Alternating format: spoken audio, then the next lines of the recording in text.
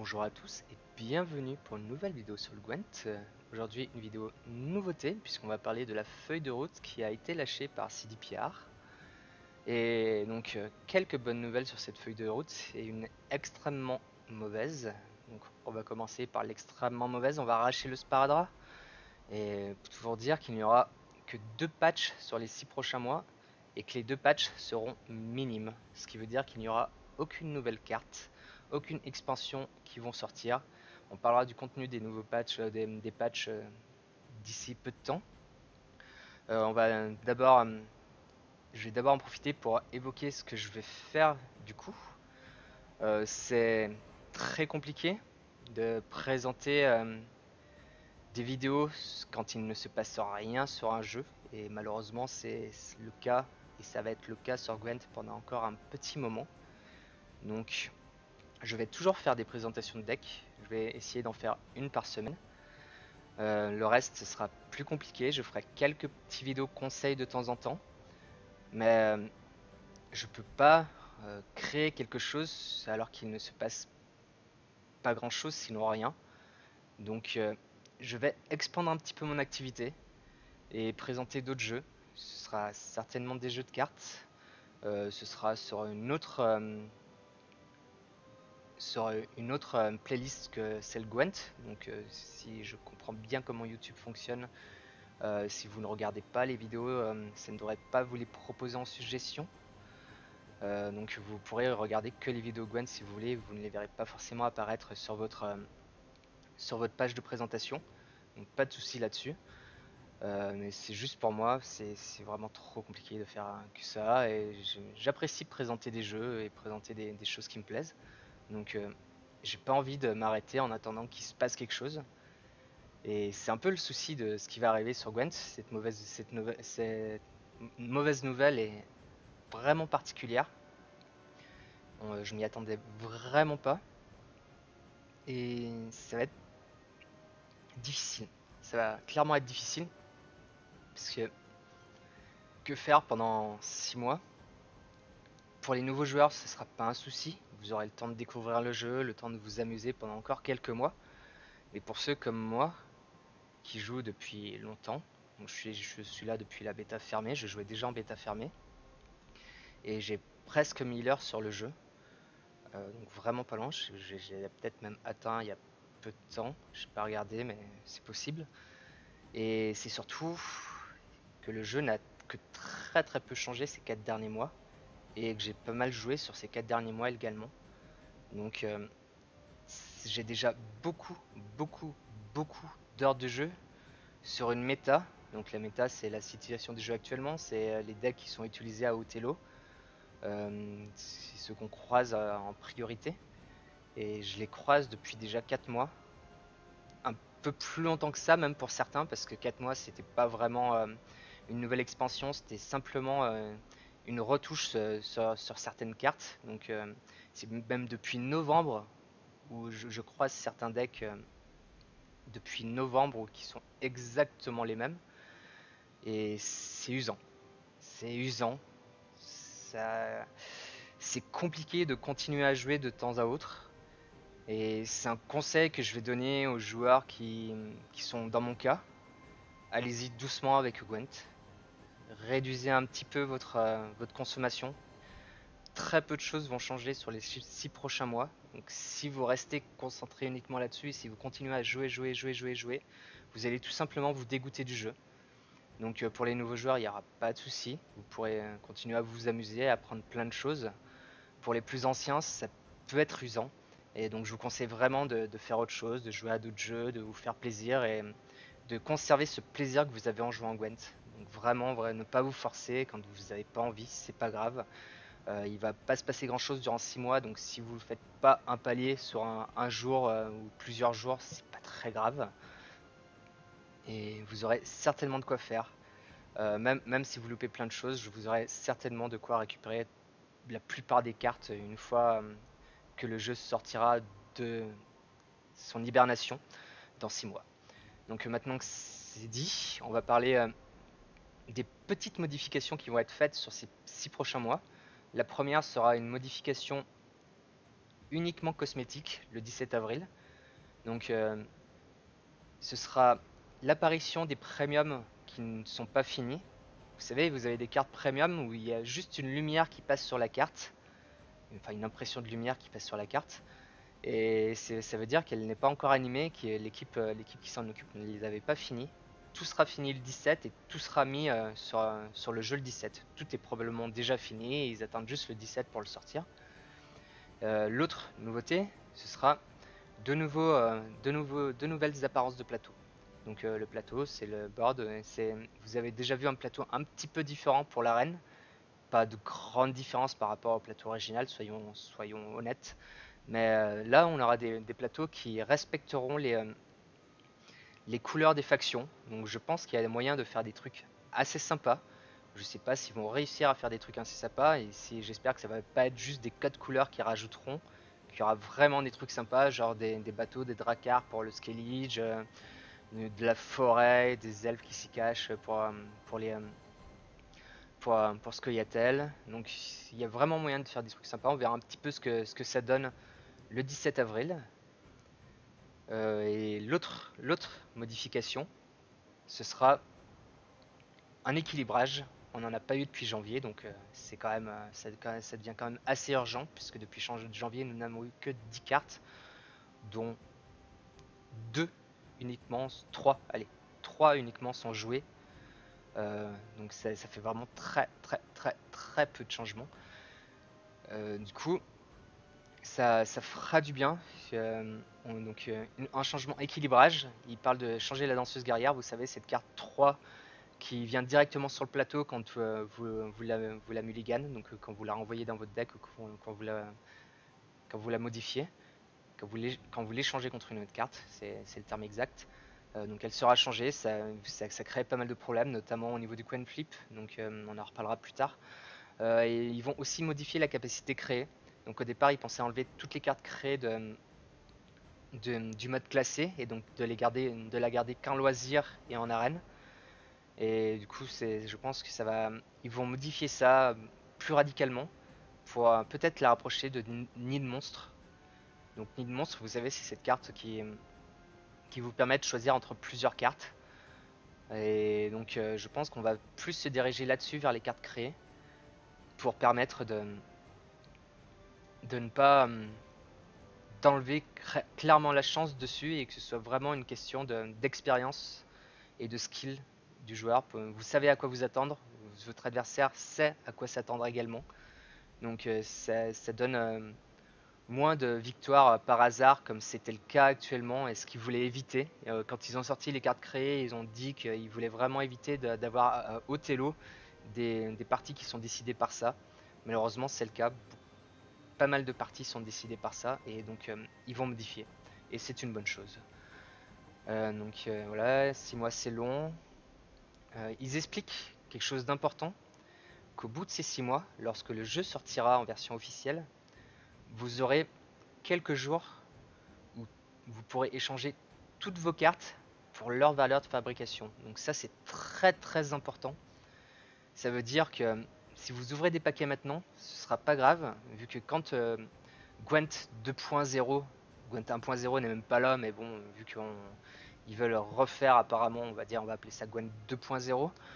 Euh, lorsque Gwent 2.0 sortira, vous pourrez décrafter, donc euh, défragmenter toutes vos cartes, et vous aurez la possibilité de les refragmenter sans souci, vous ne perdrez rien euh, entre la défragmentation et la refragmentation. Donc c'est très important, ça, veut dire que vous n'avez pas à patienter pour ouvrir vos, paquets.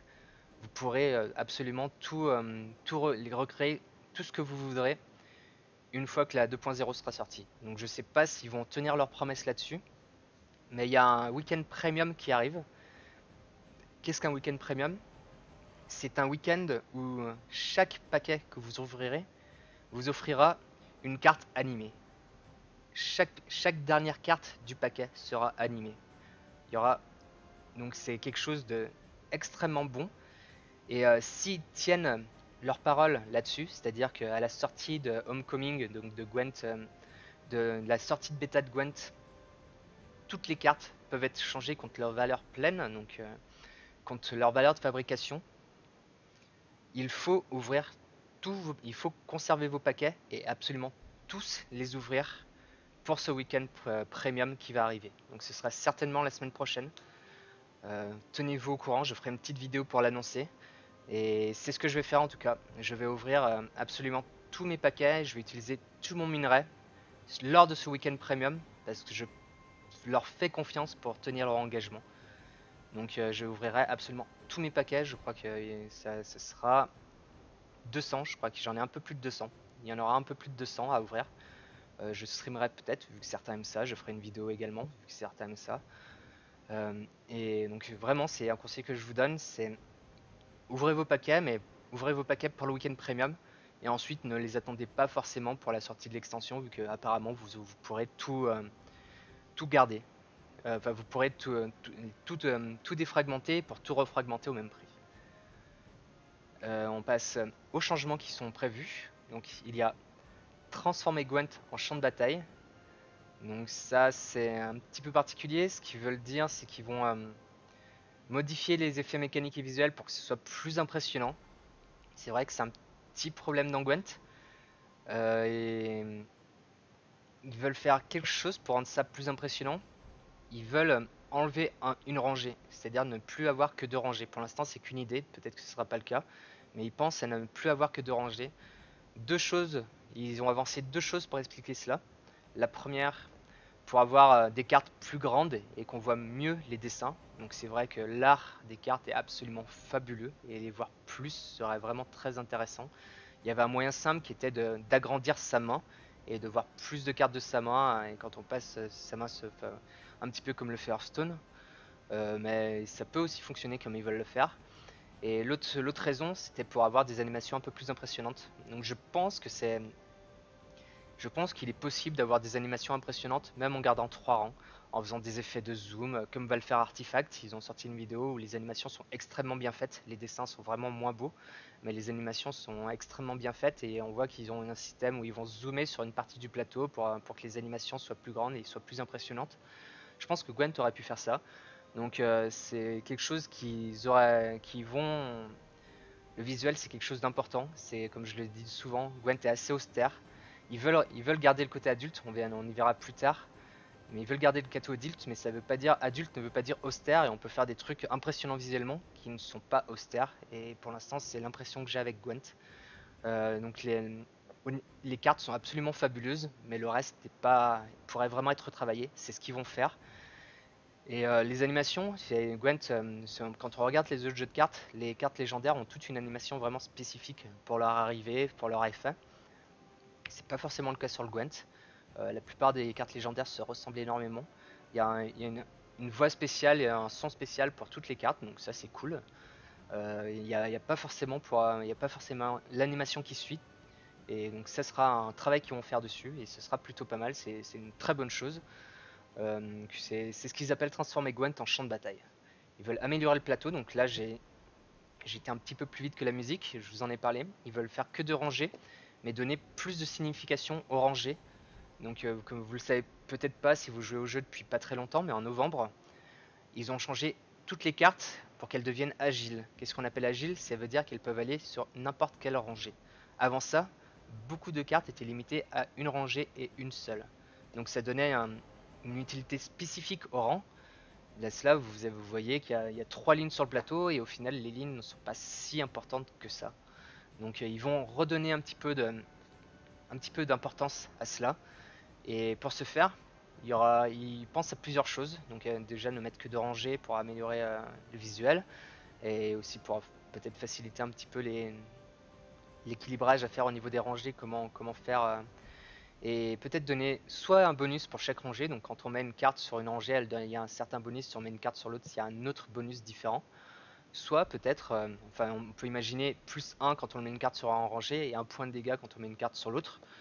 Euh, donc c'est vraiment un exemple pris au hasard et très très rapidement. Euh, mais plus probablement, certaines, certaines cartes auront des rangées préférentielles et quand on les mettra sur cette rangée en particulier, il y aura un petit effet en plus. Et donc ça, ça me paraît beaucoup plus intéressant, ça me paraît beaucoup plus tactiquement, beaucoup plus intéressant. Ils peuvent peut-être même faire des cartes qui font un effet sur une rangée et un autre effet sur une autre. Donc là, ce sera encore mieux, ce serait tactiquement encore beaucoup beaucoup de choses à, revoir. Et ça améliorerait la complexité du jeu et je pense que c'est une bonne chose à faire. Et c'est un autre point dont ils vont parler, c'est améliorer la complexité du jeu. On va d'abord revenir sur la mécanique de la pièce.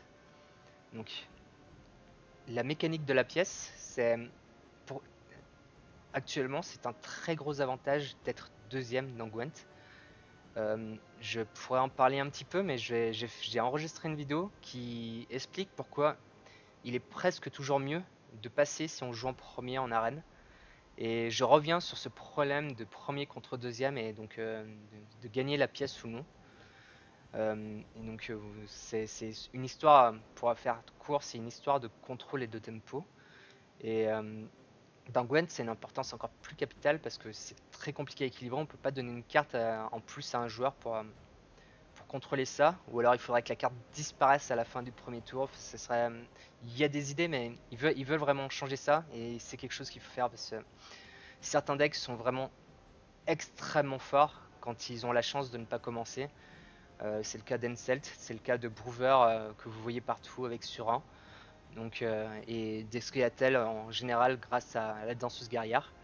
Et donc c'est quelque chose qu'ils veulent modifier et ils sont encore en train de chercher des, la solution idoine. Ils veulent retravailler la progression du joueur. Donc je trouve que c'est une bonne chose. Euh, la progression du joueur, ils l'ont changé déjà en novembre, sauf que ça a empiré les choses pour moi. Euh, j'avais essayé le jeu, j'avais refait un compte en novembre pour le représenter à tout le monde je jouais depuis la bêta fermée, donc euh, c'était pas. C'était difficile de, donner la pression que j'avais pour les nouveaux joueurs euh, en jouant depuis si longtemps. Donc j'ai voulu recréer un compte et voir un petit peu ce que ça donnait. Et c'est vraiment pas terrible. Les nouveaux decks sont assez nazes. Ça donne pas une vraie idée de ce qu'est le jeu. Le tutoriel est pas terrible. Ils veulent refaire tout ça. Je pense que c'est vraiment une bonne chose. Et il faut le faire, donc euh, tant mieux. Tant mieux. Ils veulent se concentrer sur le talent du joueur. Donc c'est quand je parlais d'expérience et de skill, c'est ce que je voulais dire. C'est qu'il parle de la mécanique créée qui a, créé, qui a apporté euh, des, des événements aléatoires au jeu et des résultats parfois aléatoires. Et donc ils veulent vraiment que l'importance soit d'abord d'abord l'expérience du joueur, ce soit d'abord le niveau du joueur qui choisisse qui va gagner la partie et pas seulement euh, les cartes créées ou certaines choses qui sont euh, qui trop euh, aléatoires. Donc c'est une bonne chose. Ils veulent aussi complexifier un petit peu le jeu. Donc je sais que pour certains joueurs qui ne sont pas là depuis longtemps, ils se disent attendez, le jeu est déjà compliqué. Mais il était plus compliqué, et, mais également plus intéressant euh, avant novembre. Ils ont changé beaucoup de choses. Donc j'ai parlé des rangées où il y, avait une importance avant. Euh, et le fait qu'avant les, les, les, cartes or n'étaient pas ciblables. Donc le tag invulnérable était sur toutes les cartes or. Le tag invulnérable n'existait pas encore, mais il était induit pour chaque carte or. Et euh, donc c'est quelques petites choses. Je trouve que le changement sur les cartes or ont plutôt amélioré le jeu. Le changement sur les rangées ont fait baisser la, complexité du jeu. Plus euh, certaines cartes qui ont été modifiées parce qu'ils les trouvaient trop compliquées. Là encore, je trouve que ça a été une grosse erreur. Donc ils vont revenir un petit peu sur ces choses-là, recomplexifier un, petit peu le jeu. Donc donner des bonus en fonction des rangées ce sera une faction de le, recomplexifier. Et ça va euh, donner plus de profondeur, je pense. Plus de profondeur. Euh, et ce sera une bonne chose euh, pour le jeu. Ils veulent se concentrer sur les core gamers. Donc core gamers, c'est les, joueurs qui jouent beaucoup. Clairement, c'est les joueurs qui jouent beaucoup, qui veulent se qui, qui, qui visent peut-être un peu plus haut dans le classement ou simplement qui, veulent, qui jouent beaucoup, qui ont envie d'aller au fond des choses, au fond des archétypes et de vraiment vraiment maîtriser ça. Donc c'est plutôt mon cas. Donc ils veulent se, recentrer un petit peu là-dessus. Donc ça, ça, me va très bien. Mais clairement c'est juste ce que j'expliquais au-dessus. C'est juste euh, brosser un petit peu dans le sens du, me brosser un petit peu dans le sens du poil pour que ça me fasse du bien. Euh, donc c'est exactement la même chose qu'au-dessus. Euh, revenir à The Witcher, donc revenir à une esthétique, une ambiance plus sombre là, j'avoue que je ne comprends pas trop. Euh, parce que le jeu est déjà adulte pour moi. on est très loin du côté de Cartoonest euh, qu'on peut trouver dans Hearthstone, qu'on trouvera dans Artifact. Euh, donc pour moi le jeu est déjà adulte, il n'y a pas forcément besoin de, le mettre encore plus adulte. Il y a du sang, il y a, des animations qui, montrent le sang sans souci. Et pour moi c'est déjà adulte il n'y a pas forcément besoin de faire encore plus que ça. Moi ça me, me dérange pas hein, qu'ils aillent encore plus loin là-dedans. Mais il n'y avait pas forcément besoin de le faire euh, plus que ça. C'est, ils en parlent surtout pour changer le menu principal et le, et le shop. Donc euh, comme, comme, vous pouvez certainement le voir, le menu principal et, et, le shop et donc la boutique ne ressemblent pas aux autres menus du jeu. C'est parce que ça a été changé en novembre. Et euh, j'avoue que j'espère qu'ils vont pas calquer le menu principal sur euh, ce qu'ils ont changé en novembre. Parce qu'au final, quand on regarde un petit peu, quand on fait un petit peu attention, tous les écrans sont les mêmes. Tous les écrans sont les mêmes. Euh, c'est-à-dire qu'on a ce plateau en trois, euh, ce plateau divisé en trois, avec un gros carré au milieu, et deux, petites rangées à droite, et à gauche. Et c'est absolument les mêmes partout, et je trouve que c'est un peu cheap et que c'est c'est pas une UI qui, fait travailler. Donc euh, moi ça me va qu'ils changent le plateau, mais j'espère qu'ils vont vraiment tout changer et pas seulement le menu principal et le shop et certainement pas pour euh, faire pareil partout. Donc euh, mettre ce, truc ce gros plateau ce gros carré et ces deux petites lignes à droite et à gauche absolument partout, ça mérite mieux que ça. Et on finit par Phonebreaker. Donc vous vous demandez peut-être ce qu'est Phonebreaker Eh bien, c'est normal, parce qu'ils en ont plus parlé depuis novembre, et c'est la campagne solo du jeu. C'est quelque chose qui était censé être très très important, euh, et qui avait l'air assez sympa. Je vous invite à regarder la vidéo de présentation qu'ils en avaient faite. Euh, ils voulaient en faire une campagne assez longue. Ils parlaient de, plus de 40 heures de jeu. Après, ils en parlaient encore plus que ça. Donc euh, je crois que c'est monté jusqu'à 80 heures de jeu. Donc il, il prévoit vraiment un truc absolument énorme. Et du coup c'est attirant, c'est vraiment extrêmement attirant. Mais en même temps, Gwent c'est un jeu multijoueur. C'est un jeu multijoueur, c'est ce qu'on attend de ce jeu-là. Et j'ai l'impression qu'ils mettent énormément, énormément, énormément, énormément d'énergie dans un truc qui ne sera pas accessoire, vraiment ils vont en faire une pub absolument énorme, mais qui devrait être euh, un mode solo aventure à la Fortnite ou à la à la à, ce qu'on peut faire Hearthstone. Ils veulent faire un truc, euh, ils veulent faire un truc vraiment énorme. On verra ce que ça donne. Je pense qu'on peut s'attendre à un truc vraiment, vraiment, vraiment bon. Mais j'ai l'impression qu'ils laissent de côté le, multijoueur à cause de ça. Et pour moi, c'est une très grave erreur. C'est vraiment une très grave erreur. Et ça explique peut-être ces six mois où il ne va pratiquement rien se passer. Et ça va être très compliqué pour le jeu de survivre à ça. Extrêmement compliqué.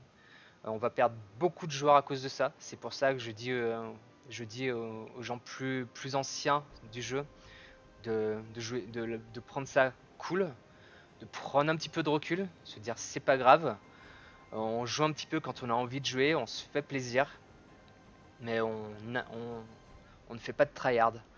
Euh, c'est-à-dire que si, vous aimez aller, récupérer un top 1000 ou un top 100 euh, tout le temps, ou si vous voulez passer pro sur Gwent, vous pouvez euh, y aller à fond, mais soyez prévenus, vous risquez le burn-out du jeu. Et du coup, plutôt que de se dégoûter du jeu, je pense qu'il vaut mieux le prendre de façon cool sur les prochains mois, de se jouer de temps en temps, de se faire plaisir. Euh, je vous présenterai les petits decks un petit peu sympas. Euh, je pense qu'il n'y a plus beaucoup de decks vraiment très très bons à présenter. Donc je vous présenterai plutôt des decks un petit peu sympas, un petit peu différents, pour vous faire plaisir, pour euh, vous changer un petit peu. Et c'est le conseil que je vous donnerai. Ne pas y aller trop fort, parce que malheureusement, ils mettent beaucoup beaucoup trop d'énergie sur la campagne solo et ça se ressent énormément sur le multijoueur. Et donc euh, j'espère que cette campagne solo sera grandiose, je l'espère vraiment pour eux, j'espère aussi pour moi parce que qu'elle soit grandiose ou pas, Je, suis en free-to-play et je, n'achèterai probablement jamais de, de paquet parce que j'en aurai jamais besoin. Donc du coup, j'achèterai la campagne solo, même si, même si elle est pas terrible. C'est ma façon de les remercier parce que j'ai quand même énormément joué au jeu. Donc euh, j'espère que ce sera bien pour, pour, eux comme pour moi. Euh, et, j'espère que ce sera quelque chose qui mettront un petit peu de côté derrière pour se concentrer vraiment vraiment sur le multijoueur et avoir beaucoup plus, beaucoup, beaucoup, beaucoup plus euh, d'updates, beaucoup plus de patchs, beaucoup plus d'ajouts de contenu. C'était quelque chose qu'ils avaient promis en janvier et on n'a absolument rien vu venir. Donc euh, j'espère qu'après ces 6 mois, ils, vont, ils veulent à, peu près tout refaire. On aura un jeu prêt à enchaîner et que tout va, tout va accélérer vraiment, vraiment, parce que c'est pas possible d'être aussi lent. Euh. on est sur un rythme plus lent qu'Hearthstone, alors qu'Hearthstone est un jeu en place depuis des années et des années. Donc il faut vraiment qu'ils prennent le temps. J'espère que ce sera salvateur pour eux. Et j'espère que ce sera pas trop tard. Parce que Artifact va sortir entre temps et qu'il est extrêmement attendu. Donc j'espère que ça ne sera pas euh, trop tard pour eux, parce que le jeu ne mérite pas ça. C'est un très bon jeu, c'était même un excellent jeu avant novembre. Et donc euh, j'espère qu'on va revenir là, que quand ça va sortir, on va se dire euh, c'est parfait, c'est vraiment ce que je voulais. Donc merci de m'avoir écouté. Comme je l'ai expliqué, d'autres vidéos vont arriver, dont une sur l'index Padassin. Euh, malheureusement, je voulais, le je voulais le mettre en début de semaine, et, sauf que j'ai eu des problèmes techniques qui font que j'ai beaucoup, beaucoup, beaucoup de processing à faire. Et ça prend 4 euh, et 5 heures pour chaque vidéo, donc c'est très très long. Et du coup, c'est un peu compliqué, donc je vais essayer de mettre ça rapidement en route. J'ai déjà enregistré, j'ai déjà pas mal de, parties que j'aimerais vous montrer. pour certaines, ce sera peut-être pas possible à cause de ce problème technique, on verra. Mais euh, attendez-vous à un Dex Palassin prochainement. Et euh, quelques petites présentations. Donc j'ai parlé d'un expliquer le problème de la pièce. Ça, devrait arriver aussi également euh, dans la semaine, euh, une fois que j'aurai choisi la, partie que je vais vous montrer. Et après ça, attendez-vous à une vidéo par semaine, généralement, globalement, pour un deck. Peut-être pas aussi profonde que ce que j'ai pu faire jusqu'à présent. Mes decks, mes parties, mes, trucs étaient assez longs parce que je passais beaucoup de temps sur les decks euh, avant de vous les présenter. Parce que je voulais vraiment vraiment savoir quels étaient les points forts et le jouer un minimum bien pour que, pour que vous sachiez quoi faire. Et donc euh, des vidéos de deck un petit peu importantes quand le deck est vraiment bon et que vous pouvez monter avec. Et euh, des vidéos plus plus cool, plus à la cool pour des decks un petit peu plus tranquilles euh, qui vont pas forcément chercher la victoire à tout prix mais des, choses un petit peu marrantes. Attendez-vous à ça et peut-être un nouveau jeu. Euh, un nouveau jeu, euh, donc ce sera soit MTG, soit Artifact quand il sortira en présentation. Donc j'espère que vous continuerez à me suivre et en tout cas je vais pas lâcher Gwent. Donc merci de m'avoir écouté, bon jeu et surtout bon Gwent